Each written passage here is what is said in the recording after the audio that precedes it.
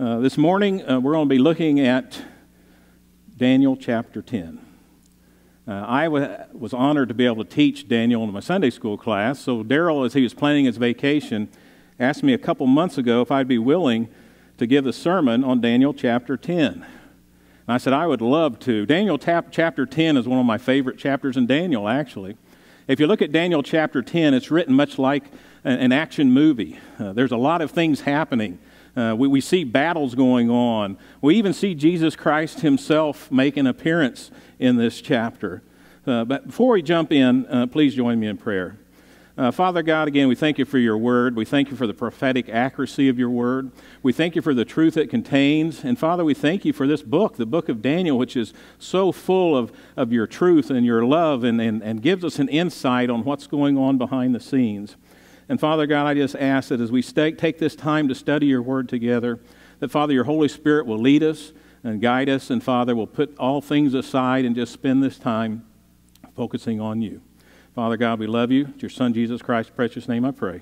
Amen. We're going to jump right off the bat and jump straight into Dan- Daniel chapter 10. Uh, as I said, it's much like an action movie, so as I read through this, uh, follow along closely because a lot of things are happening.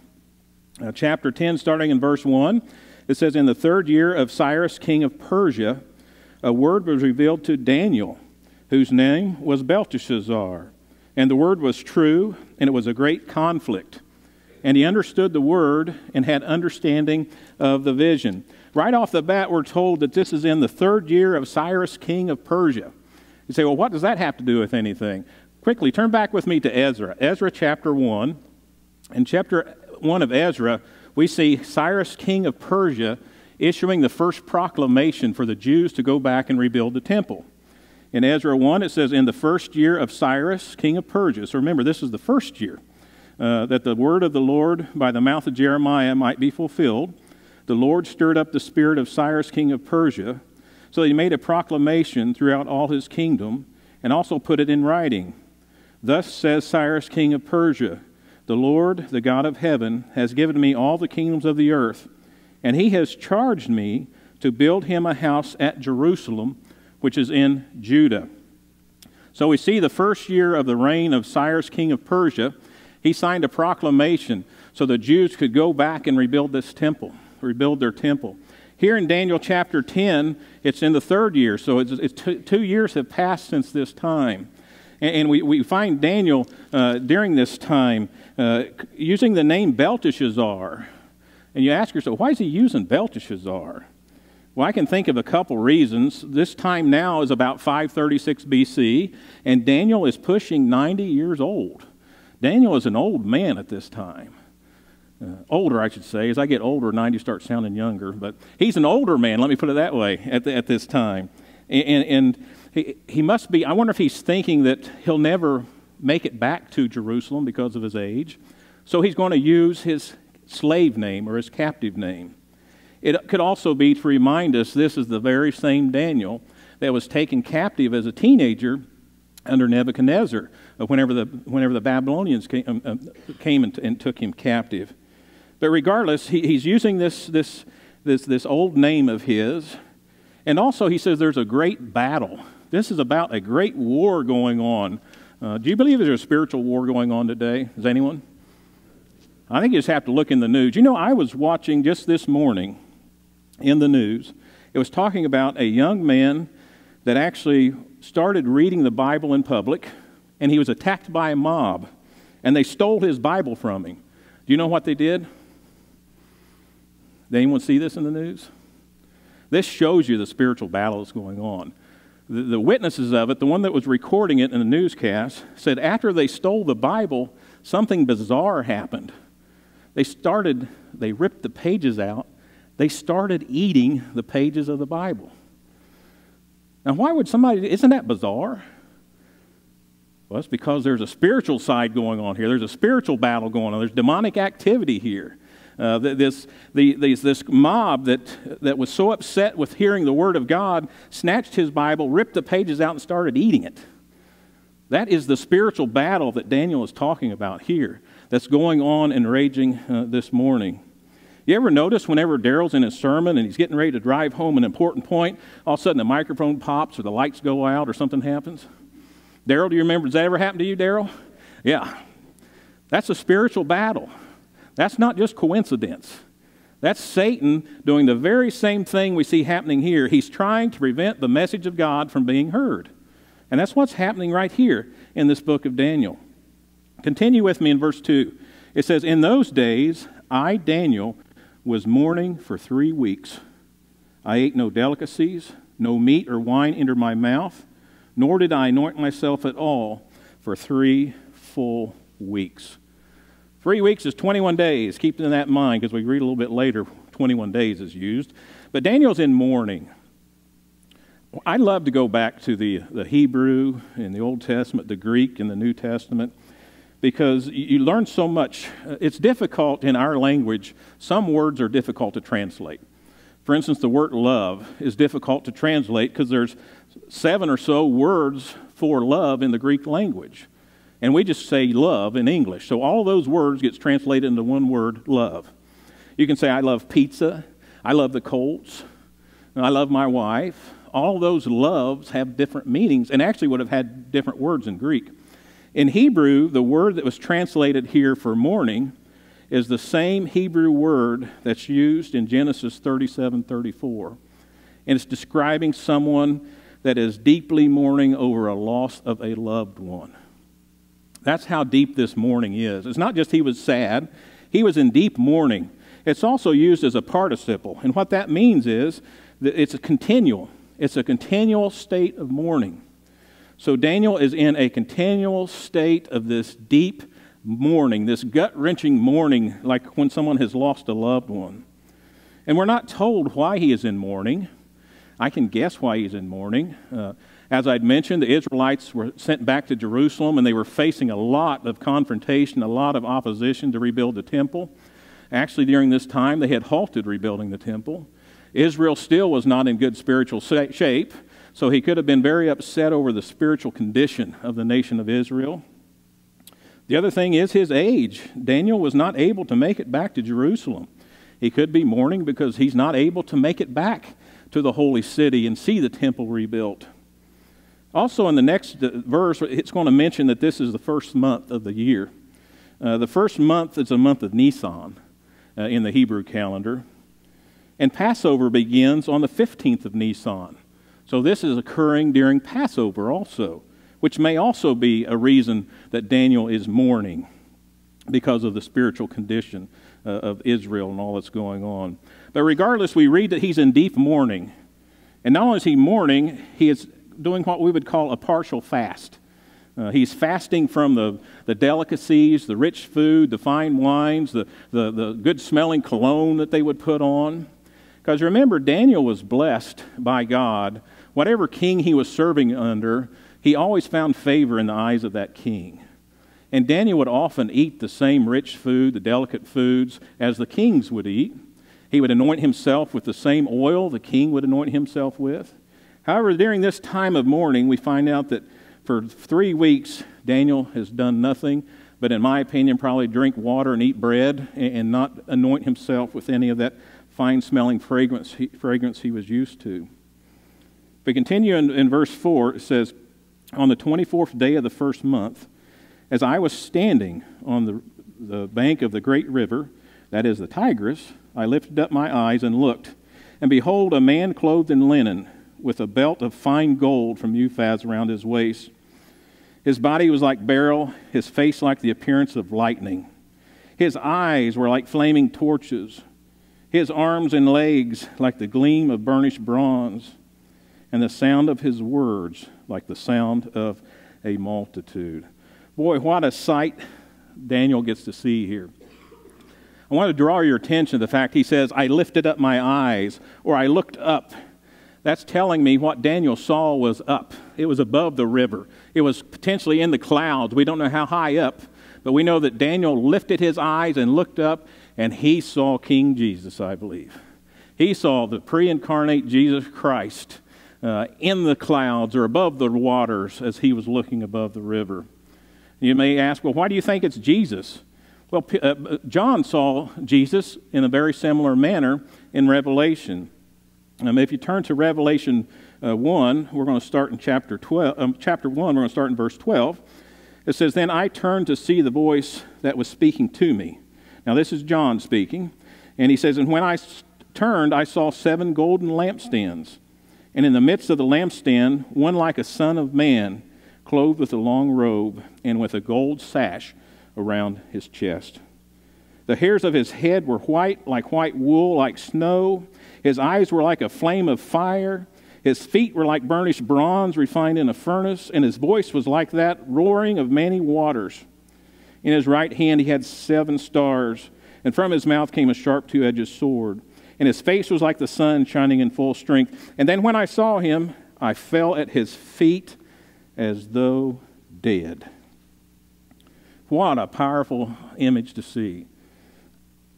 This is the same Jesus, I believe Daniel's seeing here in chapter 10, as we just read about in Revelation.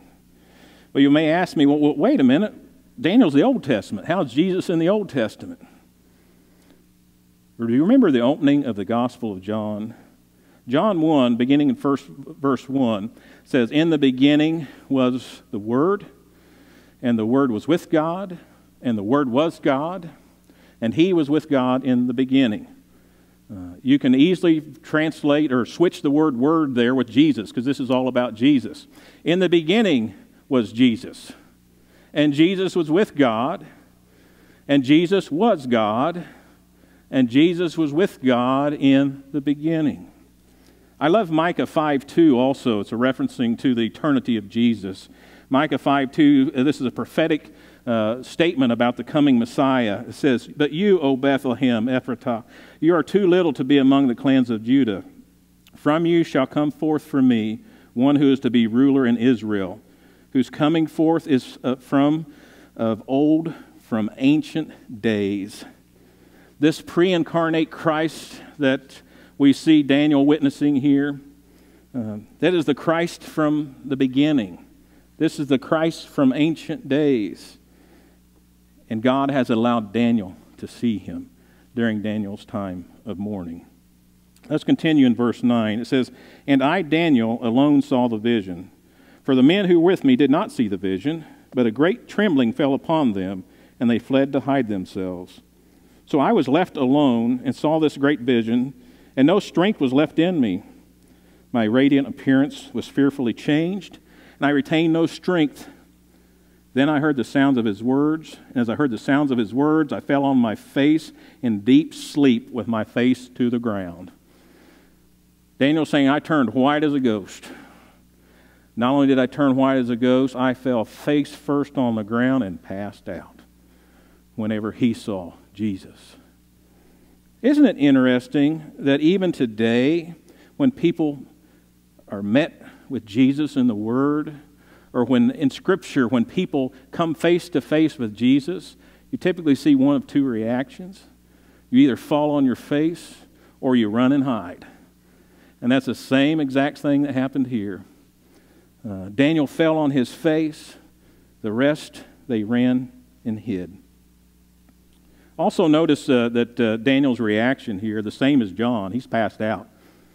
If this were a movie or if this were on television, it'd be a commercial break.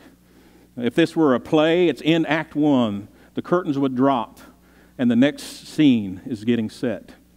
The reason I bring that to mind is because just, I want to make it clear that the next angel that touches Daniel is not the pre incarnate Jesus that he saw in the clouds. Daniel is completely unconscious right now.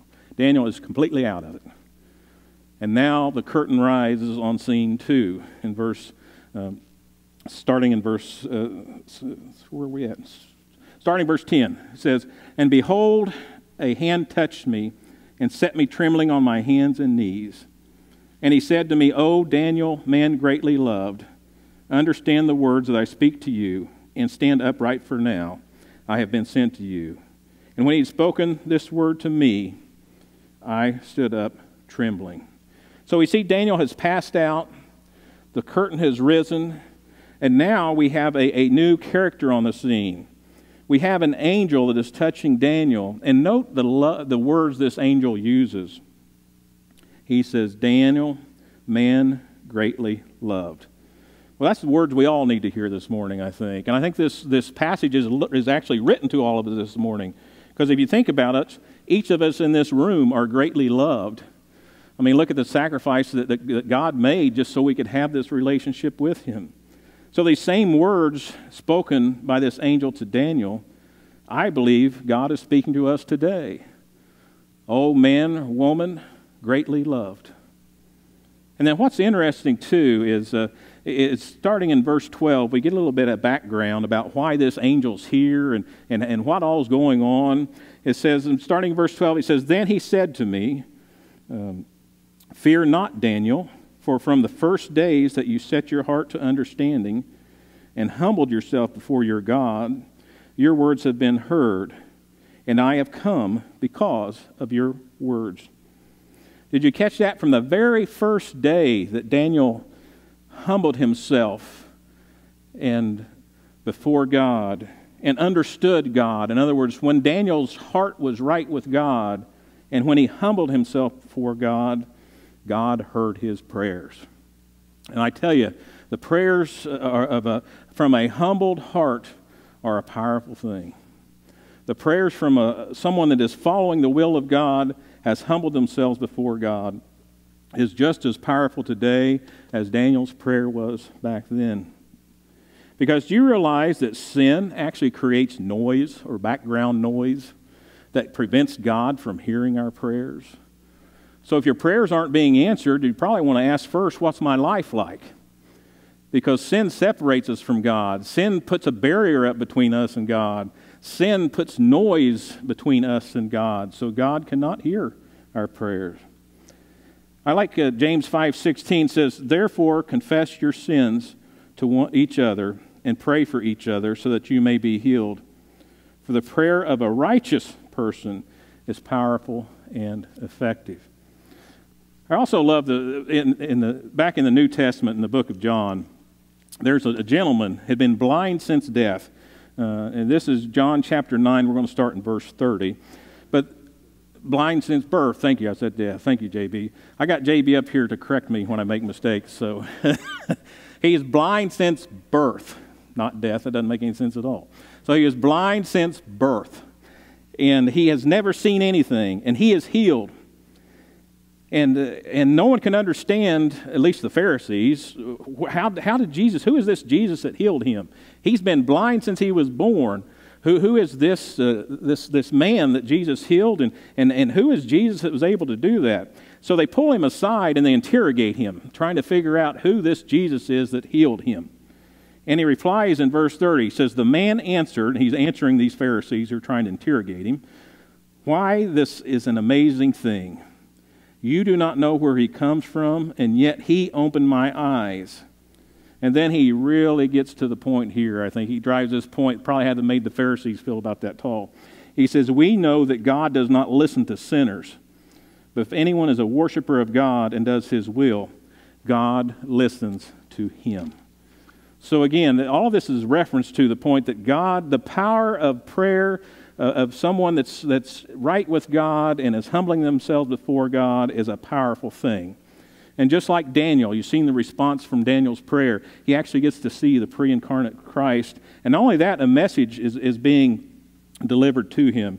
Let's jump back into Daniel. We'll start in verse 13. It says, The prince of the kingdom of Persia withstood me for 21 days. But Michael, one of the chief princes, came to help me for I was left there with the kings of Persia, and came to make you understand that it is to happen to your people, what is to happen to your people in the latter days. For the vision is for days yet to come. Latter days, that's reference to the end times. God is sending Daniel a message, which Daryl's going to preach on next week, because this is actually setting the stage for the actual vision that he receives, which we'll, he'll talk about in chapter 11. But what he's, this vision is about, it's about the future, about the end of times about the days yet to come. And if you note here, it says the prince of the kingdom of Persia. Also, Michael, who we know as an angel, is referred to as a prince here. And it mentions kings of Persia. I want to call your attention to these are not human princes and kings. Uh, these are spiritual entities. Uh, we know that Michael is an archangel for God. He is on the good side. Also, we see this prince or this angel of Persia, as well as these kings of Persia. All of these are evil beings that are doing everything they can to prevent God's message from being delivered to Daniel. Just like they are today, these angels are warring today, trying to prevent God's message from being delivered to the world. Notice how long that they've been fighting 21 days. You need to make note of that because remember, Daniel's been fasting for 21 days or three weeks. Uh, this whole battle started the minute Daniel prayed. God sent a message through an angel, and he was uh, in the middle of a fight trying to get that message to Daniel. Now, we don't know what these angels' fights look like. Uh, we don't know what they fight with or how they fight, but clearly there's a battle going on here. And clearly, Satan does not want Daniel to hear God's message. The other thing to keep in mind is that a, a prayer with a delayed answer does not mean it was not answered. I'm sure Daniel was wondering if God was going to hear him. Well, God, the minute he heard the prayer, sent the answer. There was just a little bit of a conflict to get the answer to Daniel.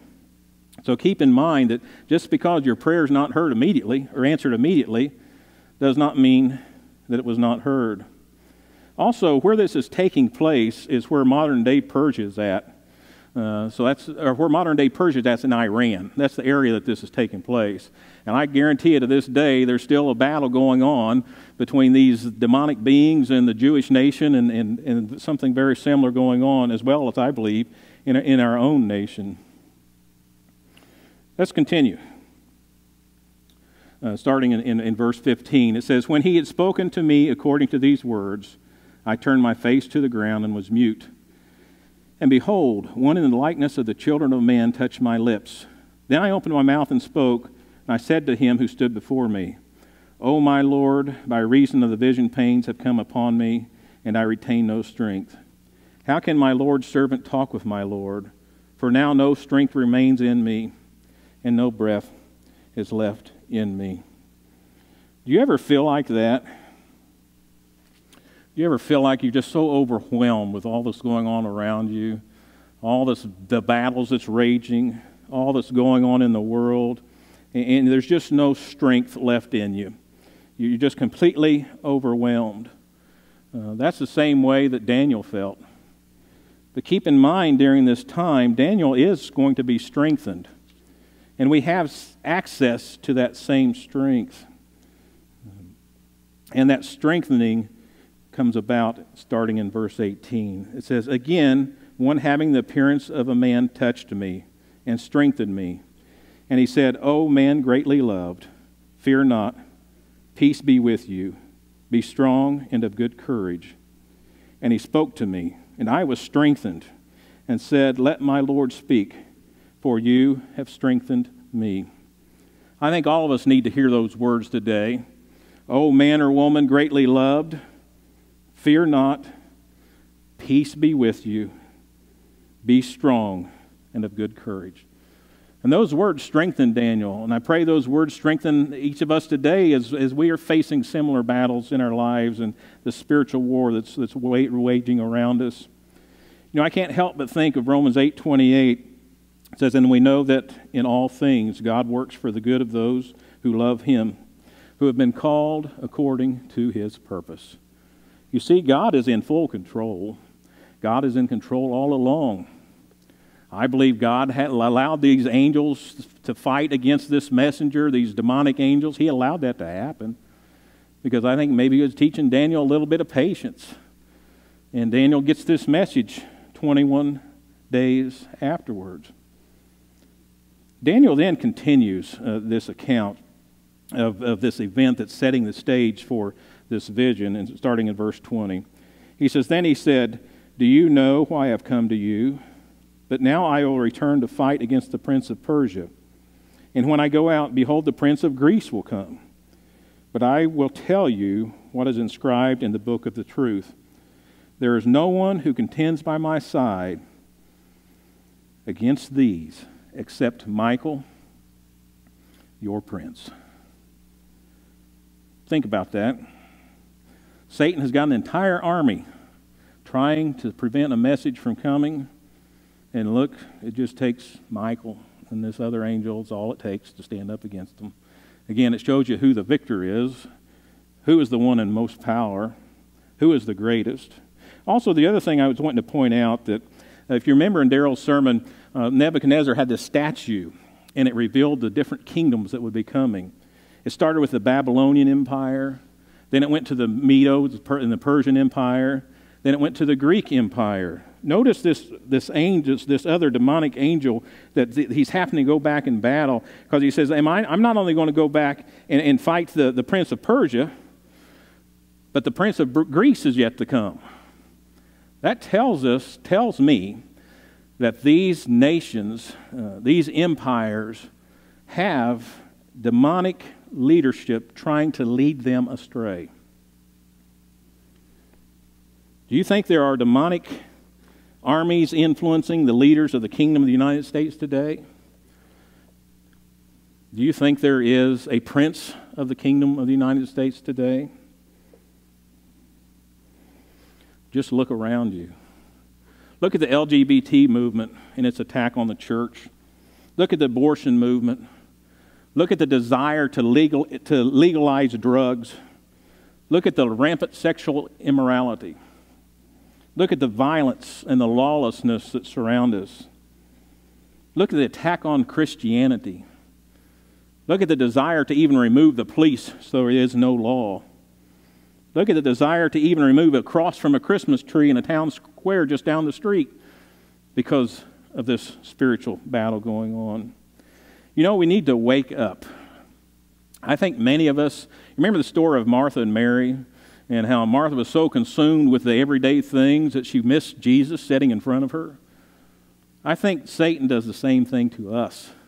I think we get so consumed with all the stuff going on around us, we don't see the spiritual battle that's, that's right at our front door or in our own homes. But remember, we get strength from God to fight these battles. In closing, on the, in your uh, bulletins, uh, I, have I've got five main points. This comes from my background of, of lecturing. I always like to close with some points. There are five main points that I want you to remember and take home with you. The first one is God hears your prayers when you submit to His authority and humble yourself before Him. I also got thinking of this, and I got thinking of the cell phone. You know, I'm driving down the road and I'm talking to my wife on the cell phone, and suddenly it starts cutting out. You can tell when it's starting to cut out. You start losing it, then just, they're gone. That's what sin does to our phone conversation to God in prayer. It's like you hit a dead zone whenever you got sin in your life. So it's important that when we pray that we submit to the authority of God and we humble ourselves before him.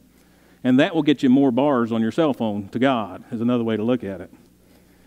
Also, know that each of you are greatly loved by God. Everyone in this room is special. God created everyone with a purpose. This is why it breaks my heart to see such a desire for abortions today. God created a life inside of a woman for the purpose of something that He has planned for that life. That life is greatly loved, and yet we just throw it out like everyday trash. Everyone here is greatly loved by God. He gave His Son for each of you. The third point is there is a spiritual battle raging around you. It's not fiction, it's not made up. There is a spiritual war that's being fought in our nations, in our schools, in our homes. Why else do you think, think about drag queens coming to read to kindergartners and first graders? It's a spiritual war, I'm telling you, and we need to be aware of that and have our right, hearts right with God and submit to Him in prayer.